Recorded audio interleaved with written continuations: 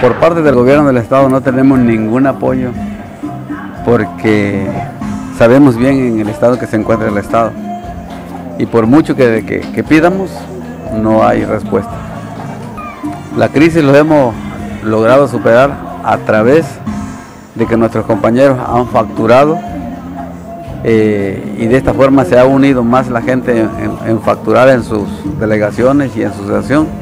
Es como lo hemos podido sacar económicamente para resolver los problemas de las, de las gentes que tenemos trabajando ahí.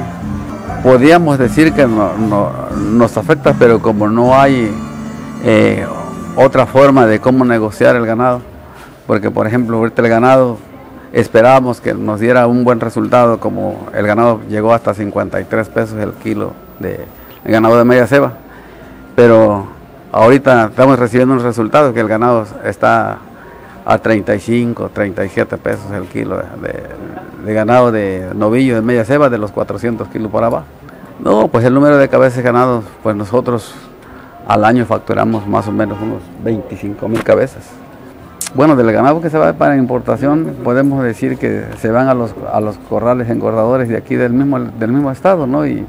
y otros pues lo sacan para Tampico. Este, esa es la forma de que el, en la unión ganadera se está aretando el ganado para tener un mejor precio, pero hasta ahorita podemos decir que no lo hemos conseguido ese mejor precio, porque ese es el fin de que todo el ganado está identificado cada ganadero tenga identificado su dato ganadero y de esta forma recibir este eh, ahora sí el precio que verdaderamente debe tener. Pues sí es un ganado saludable porque desde el momento, no, nosotros hasta ahorita las cuarentenas, han habido ciertos ranchos que han tenido cuarentenas, pero hasta ahorita nosotros aquí en Hidalgo Islán la mayor parte podemos decir que, está limpia. lo que se espera es que, que se mejore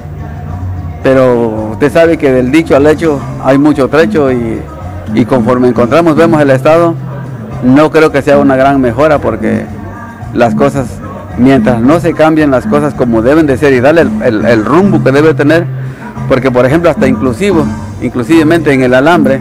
mucha gente quiere encontrar un alambre subsidiado a un precio que sea de, que de veras sea un 50%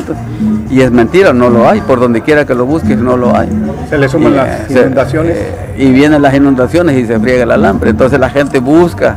dice, bueno, pues queremos un alambre a un precio que nos ayudemos, pero ¿de dónde lo sacamos? Y también nosotros allá el precio que nos dan es un precio alto, caro.